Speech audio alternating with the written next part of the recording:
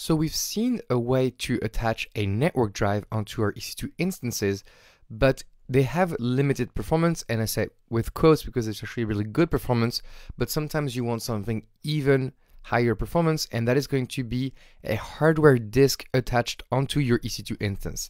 So the EC2 instance is a virtual machine, but it is obviously attached to a real hardware server, and some of these servers do have disk space that is attached directly, you know, with a physical connection onto the server. And so a special type of EC2 instance can leverage something called an EC2 instance store, which is the name of the hardware the hard drive attached to the physical server. So what we use EC2 Instance Store, we will use them for better I.O. performance. We will also make sure that they have good throughput and so on. So they're a great choice when you want to have extremely high disk performance. But the caveat is that if you stop or you terminate your EC2 instance that has an instance store, then the storage will be lost. And therefore, it's called an ephemeral storage. So that means that the EC2 instance store cannot be used as a durable long-term place to store your data. So what is a good use case for it then? Well, if you have a buffer, a cache, you want to have scratch data or temporary content, this would be a great place to do these things, but not for long-term storage. For long-term storage, EBS, for example, is a great use case.